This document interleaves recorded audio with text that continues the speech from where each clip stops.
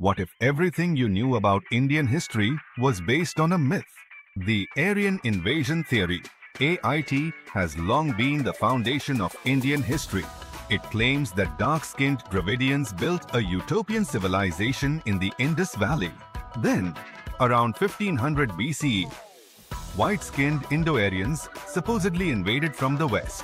These Indo-Aryans are said to have destroyed the Dravidian civilization and imposed Hinduism.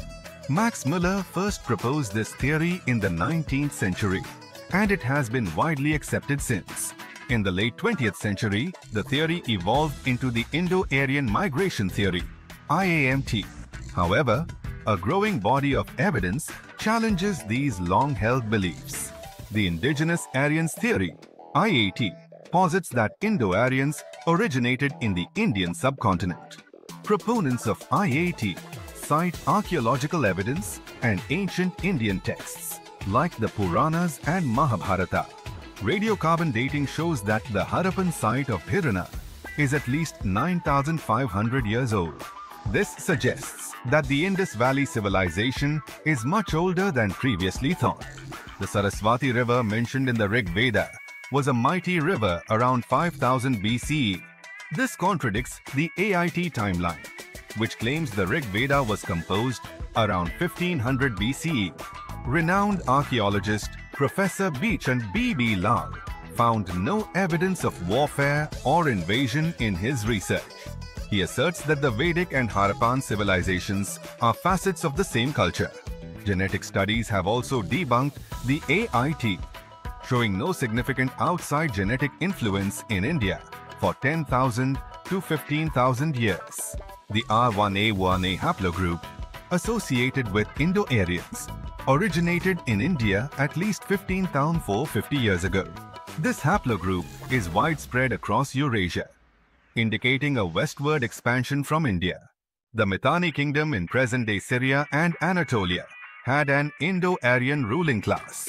Mitanni kings had Indo-Aryan names, and their texts contain Vedic Sanskrit terminology. Genetic evidence shows a massive population influx into Europe from the east around 1400 years ago. This influx included the Indian origin Arva-Mai-K-Nimovan-As haplogroup, indicating Indo-Aryan expansion. The Danava clan of Indo-Aryans migrated westward, naming European rivers after their goddess Danu. Irish and Celtic mythology also traces their ancestry to a river goddess named Danu. The R11A1A haplogroup is still present in Ireland, proving ancient Indo-Aryan settlement. The evidence shows that the Indo-Aryan people and languages originated in the Indian subcontinent. The Vedic civilization and the Indus Valley civilization are one and the same. Hinduism is indigenous to India and has its roots in the Sindhu-Saraswati civilization. The Aryan-Dravidian divide is a myth, as North and South Indians share the same genetic lineage. India's history is a continuous, unbroken tradition dating back at least 9,500 years. The Aryan invasion theory is a myth. India's rediscovery of its past has only begun. Exciting times are ahead